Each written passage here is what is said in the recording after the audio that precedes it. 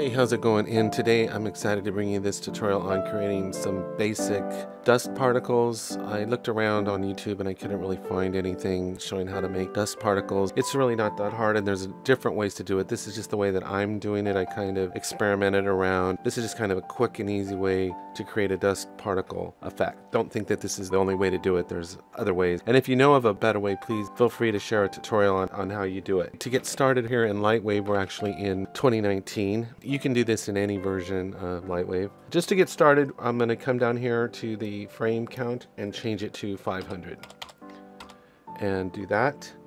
And then the uh, the next thing we're going to do, it's, it's pretty straightforward. There's just a maybe, I don't know, maybe 15 steps to doing this. And then I'll actually, when I'm done with this, I'll take you into the video editing program and go all the way through. That'll kind of be like in the later part of this. So just to show you how I do the whole thing from the start to finish. Anyway, so then we go into FX Tools and then we come down here to add emitter and we just left click on that and we just go okay. And then this window comes up and we just have to make a few settings here. I have a different way of doing this. There's other ways of doing it like I said. So actually I'm gonna keep all the default settings here and all we're gonna change here is on nozzle. We're gonna change that to box and that's all we're going to do. Then we're going to go over to the particle tab and all we're going to do here is we're going to keep these all default except we're going to change the particle resistance to 0.2 and this is what uh, it's like air resistance so if you lower this number the particles are freer to float and then for lifetime of course they're only going to last for 60 frames that's not long enough this is going to be 500 frames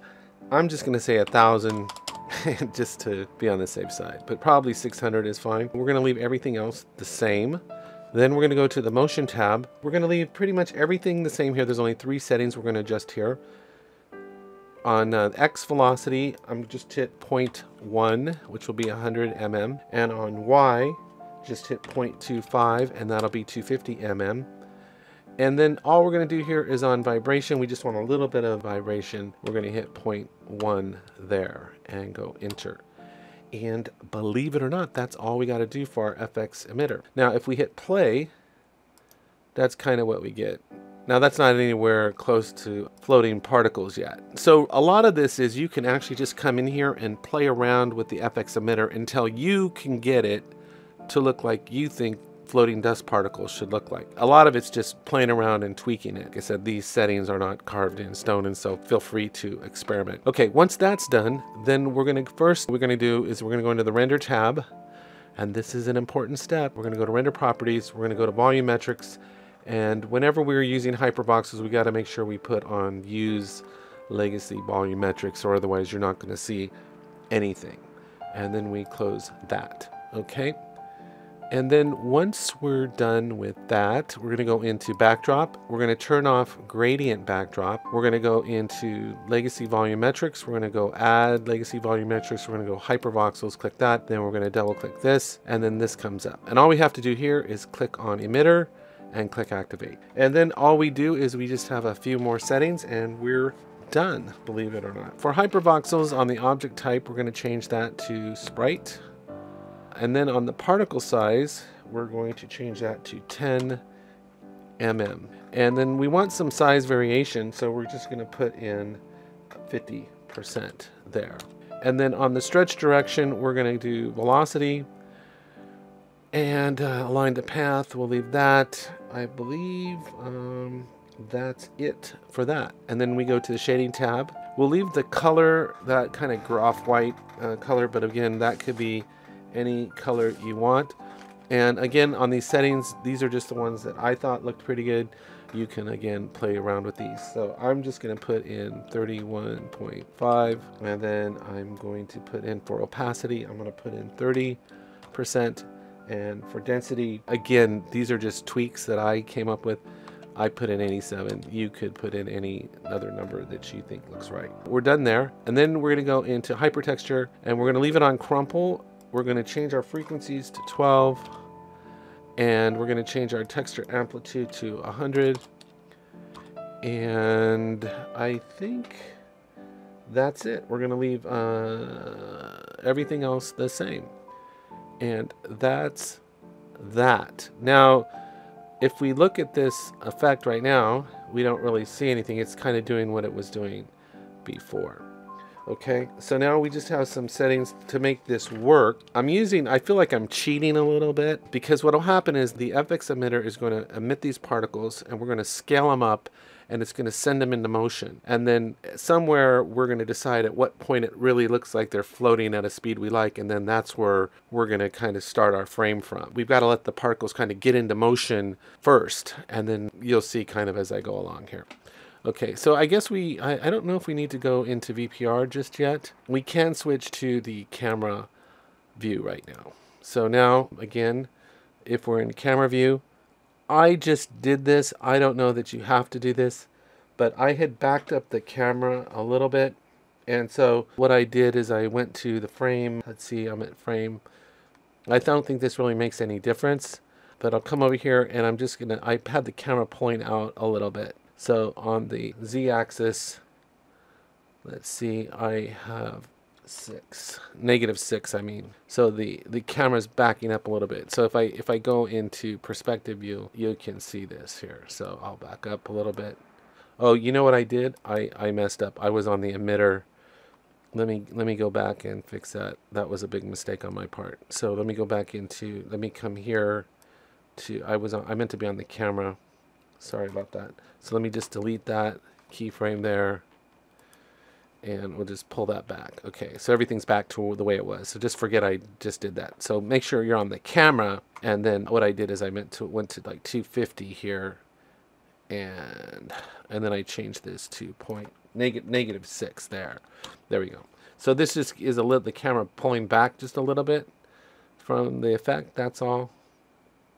And like I said, I don't know that that really matters because the we'll see. It might have just a slight effect but not very much of effect because we might not even we might only take from the 250th frame to the 500th frame. But we might take some maybe around 200 but i'm not sure yet. Okay? And then the last thing we got to do is now we're going to this is really what causes the effect. So if you if we go back into camera view here and we hit play we don't really see any kind of floating dust effect at all right now, right? What's going to cause this effect is if we go to object and we're on emitter and we come over here and we turn the scroll wheel, we're going to go to scale. And this is what's going to cause the effect. So what we're going to do is we're going to go to about the 60th frame right here, right uh, there. Oops, one more frame over. And then on the X, so it's on zero zero zero at the zero frame basically, and then we're going to move this to the 60. It's I'm sorry, it's at one one one, and then on the 60th frame we're going to make our adjustments here. So what we're going to do there is let me see. I got to double check. I did write this down. Okay, so for the X scale we're going to put in six. For the Y scale we're going to put in five, and then for the Z scale we're going to put in 4.5. And like I said, you can play around with these effects and see how you like it. I mean, like I said, please feel free to experiment. Now, if we go back and we hit play, this is what we get. And you'll see, like, starting around the 200 frame, you've got that kind of floating particle effect. They're in motion, and there's an, a low enough resistance that they kind of go on their own inertia still. And to me, that's what floating dust looks like. So we're going to render this out from about, I don't know, maybe around the 200th frame or something like that. And that actually is our next step. So what I'm going to do is I'm, I've got a, I'm going to make a folder on my desktop here.